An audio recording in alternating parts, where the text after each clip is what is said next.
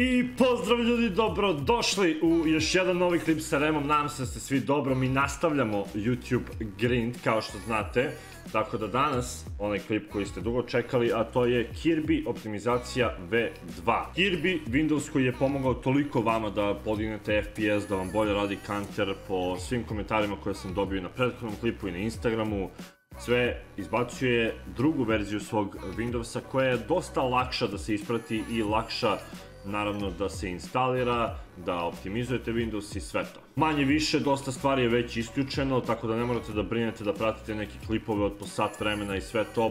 Prosto je, objasnit ću vam sve u ovom klipu kako da uradite, kako da stavite na Rufus, kako da instalirate i sve ostalo. Vi naravno ukoliko ste novi, obavezno lajkujte ovaj klip, subscribeujte se na kanal, dosta dobrih klipova ide u narednih nekoliko dana, tako da brzo, nemoj da vas čekam brzo. I eto kao znak zahvalnosti možete da zapratite trovo.live.com svaki dan streamujem od kako sam kupio kompi po 10 sati dnevno, tako da ako hoćete da gledate dobar kanter, naučite po nešto, brzo na trovo.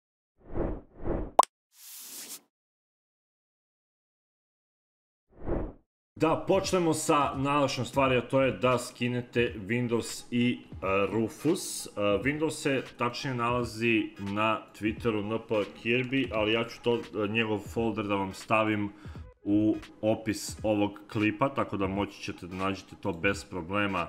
Ovaj folder gde piše Kirby os ove, outdated versions i ostalo ne skidate, skidate samo ovaj. H2, taj N, to je engleska verzija, logično, ovo je nemačka, nemojte da slučajno da skenete ovo. Ja se zajebao prvi put kad sam bacivao Kirby, ubacio sam nemačku i onda ulazim u Windows i gledam sve piše na nemačku i šta je bre ovo? Druga stvar koju treba da odradite jeste da skinete Rufus.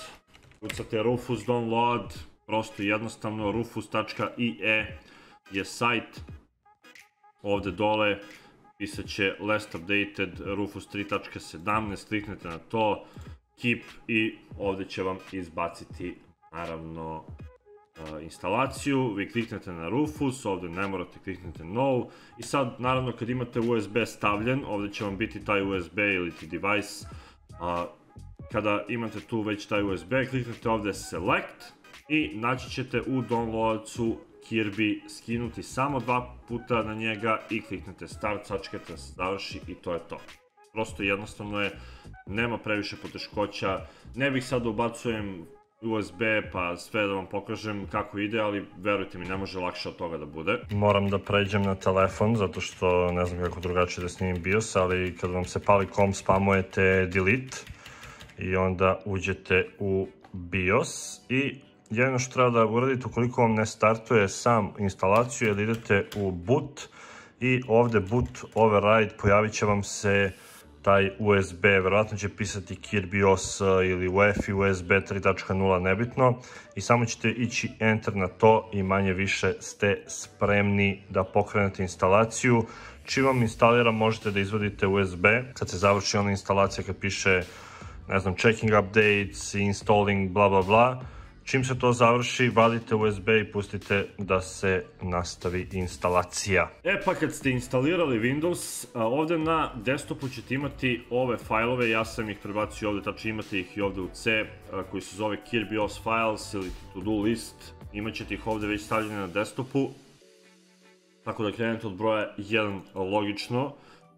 Aktivacija Windowsa, naravno ko to kako radi, ja to ne zalazim u to, ako imate key, super, ako nemate, ne znam, snađite se. Set language and time region, to je prosto jednostavno kad uđete tu, idete na region, stavite Serbija i ovde ništa ne menjate manje više, date and time, set time automatically, ovde stavite time zone Belgrade, plus 1 i kliknete sync now i to je sve što treba da odradite. Posle toga set default apps, to je manje više, znači Google Chrome, VLC Media, Windows Photo Viewer, VLC Media, Google Chrome i sve ostalo. Međutim, naravno, pre nego što krenete u sve ovo, izbacit će vam ovakav, da kažemo, Windows, čim upalite Windows, izbacit će vam ovakav prozorčić, uh, koji treba sad da instalirate šta vama najviše treba. Ja sam instalirao ovako, znači Nvidia Display Driver ukoliko imate Nvidia grafičku karticu, AMD Ryzen chipset, to sam također instalirao, Nvidia Profile Inspector, također Steam, OBS zbog streama, CPU-Z zbog, zbog procesora, ali to ne morate ukoliko ne znate šta i kako. Hardware info sam instalirao zbog, naravno, praćenja temperature i svega ostalog. Ovdje možete Nvidia Display Driver da skinete ukoliko želite najupdatovaniju verziju. Ja sam stavio ovaj zato što je taj kao suggested da se instalira.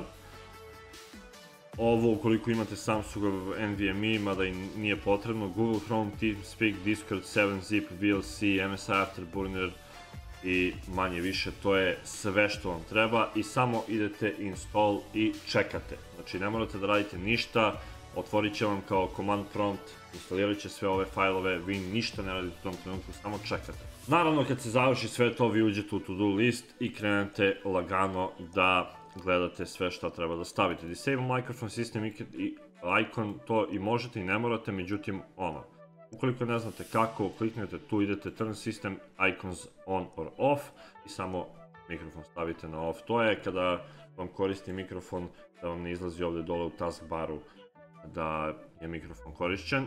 MSI modi i Affinities, ja to nisam stavljao.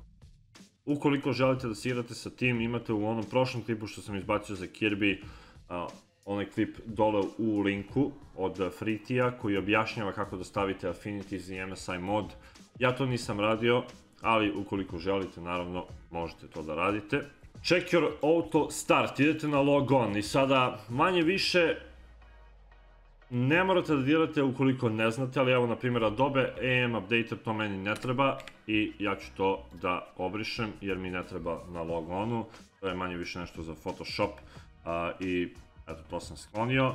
Explorer, nemojte da dirate ništa što je crveno jer možete da sjebete nešto. Internet Explorer tu svako nema ništa. Schedule, task, to Naravno imat ćete različite stvari u, zavisnosti od toga da li instalirate proces lasso, MSI, Burner i ostalo, ali od mene to trenutno izgleda ovako.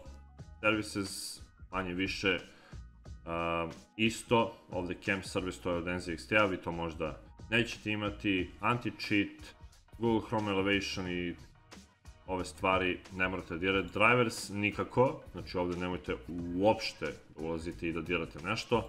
Kad uradite to idete na X i onda idete check your services, međutim tu možete neke stvari da isključite ukoliko se razumete šta i kako, tipa Google Chrome ili tako neke stvari, ali naravno ukoliko ne znate šta radite, onda nemojte da svirate s ovim opcijama, neće vam nešto previše pomoći u FPS-u, čisto stavljeno za neke advanced usere koji hoće da isključe nešto dodatno u Windowsu što im ne treba.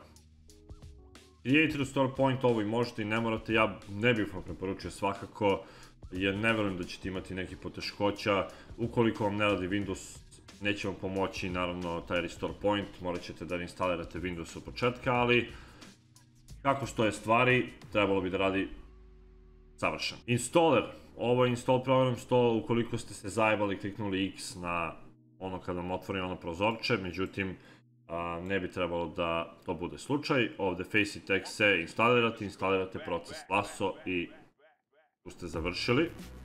I onda u Optional, ovdje možete da stavite dosta stvari i možete i ne morate.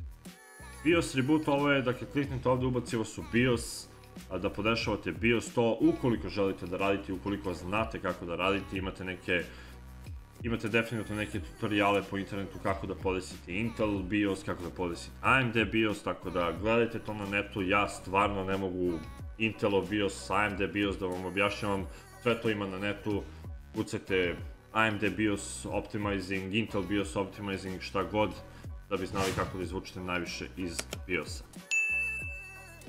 Boot menu policy, ja ovdje nisam dirao ništa, tako da ukoliko želite možete Legacy, možete Standard, bukvalno ne pravi neke razlike, tako da na svoju odgovornost. Clean up your PC, ovde naravno disk cleanup, već znate šta je, kad instalirate Windows imate tu neki stačići koji može, mogu da se očiste čisto da vam smanje malo disk space i možete i ne morate, svakako zato je i optional, nije ono must. Ovde je već stavljeno na high, u najnovijem updateu koji je izbacio Kirby, tako da ne morate da stavite real time, ne bih ni preporučio real time da stavite, nek ostane na high, barem za sada, ukoliko želite da se igrate sa opcijom, uvek možete, ukoliko ne želite, neka bude tako kako bude. GPU lock, boost clock, ovo je dobra stvar ukoliko želite da lokujete GPU, da uvek radi na boost clocku koji treba. Naravno, u MSI Afterburneru morat ćete da stavite vaše ventilatore da rade barem na 80-85% kako naravno ne bi overhitovala grafička jer će raditi sve vreme na neki boost od recimo 1900, 2000, 2100, nebitno, tako da pažljivo sa ovim. Imate i verovatno od FreeTija kako da sve to u grafičkoj kartici stavite i podesite overclock ukoliko želite da overclockujete grafičku. Import NVIDIA profile, ovde kliknite samo ukoliko imate NVIDIA grafičku karticu, kao što sam rekao, kliknite dva put i lagani ste. Network Twix, ovde možete manje više od 1, 2, 3, 4 i 5 da aktivirate sve. Ako vam nešto ne bude radilo, samo se vratite na default i to je to, međutim ovde možete, to su kao neki tvikovi za internet, ne znam tačno naravno šta i kako podešava u potpunosti, ali preporučio bih jer po meni radi dobro stvar. Proces Lasso, Settings imate i AMD i Intel. Problem ovde je što je na nemačkom, kao što vidite, ali lako je da se skapira. kad otvorite ovde, na primjer, evo vidite, to je main, imate ovde stavljeno sve, kao što vidite možete i tu sve da vidite isto kod, uh, kod ovog, na performance enabled i ostale gluposti. On u sledećoj slici, da kažemo, ima ovo uh, i vi uzmete i u Active Processu naravno morate da imate otvoren counter da bi radili sve ovo, ali idete desni klik, CPU priority high i sve ostalo. Pratite slike i verujte mi, lagani ste. Ovde izaberite samo onoliko rama koliko imate. Ako imate 4 GB, što bi bilo čudno, nemojte da dirate ništa, ali tipa ako imate 8 GB stavite ovde 16, 32, 64 i samo kliknite dva put yes i to je to. Ovo je driver ukoliko nemate internet, ali ne bi trebalo da bude slučaj, trebalo bi da imate internet čim instalirate Kirby. I ove tri stvari iskreno ne bih ni preporučio da dirate, jer u nekim situacijama disable neke stvari koje možda čak i ne bi trebalo, tako da igrate na svoju odgovornost. Ovde je da disablujete dosta servisa, da imate manje servisa, update disable, to već vam samo govori šta je, i UVP uh, disabled ukoliko želite igrate se sa tim, ja nisam ništa od ovog iskoristio, ovde na ovom novom kompu, na starom jesam, ali ovde na novom ništa nisam dirao, tako da ukoliko želite pokušajte, vidite šta i kako, ukoliko ne želite možete opet da ih aktivirate nazad, nikakav problem nije. Što se tiče Nvidia podešavanja, za AMD, nažalost nemam AMD grafičku da bih vam pokazao, ali što se tiče Nvidia podešavanja, kod mene je podešeno ovako, znači off, off, off, Nvidia, ovde naravno stavite grafičku koju imate, maximum performance, highest available ukoliko imate monitor sa više od 60 Hz, on, on, on, on, off i high performance allow i manje više to je to, nemate da dirate ništa. Desktop color settings, to je u zavisnosti od toga koliko želite da vam bude svetla boja, meni je na 70% zbog novog monitora, inače je bila na 100, uh, tako da igrajte se sa tom opcijom. 70-80, evo stavit ćemo 80%, ne menja nešto previše, ali možete da se igrate sa tom opcijom lagano i da vidite šta vam najviše odgovara. I ukoliko želite da igrate stretched rezoluciju u Counteru 4.3, idete ovde i onda na monitor koji imate stavite full screen. Perform scaling on GPU, naravno imate i display, međutim, Ukoliko igrate strečovane rezolucije i rezolucije koje nisu native, znači 1920 x 1080, monitor će vam svakako forsirati GPU scaling. Ako igrate igrice koje su naravno 1920x1080 ili igrate Counter 1920x1080, onda ukoliko imate opciju za display stavite, ukoliko nemate, nemojte da brinete, neki monitori imaju, neki nemaju, ali to je manje više to. I to bi bilo to, braćo moje, nadam se da će vam ovaj Windows pomoći da imate veći FPS, da vam igrica dosta bolje radi. Nemojte sada očekujete nekih 300 FPS boosta, jer to se neće desiti, ali mogu da vam garantujem da sigurno ćete dobiti 30-40 FPS boosta i igrice će vam raditi pet puta bolje nego na običnom Windowsu. To, budite sigurni u to. Međutim, naravno, na svoju odgovornost instalirate Windows i radite sve ove stvari. Ja ne odgovaram ni za što što se desi vašim kompjuterima.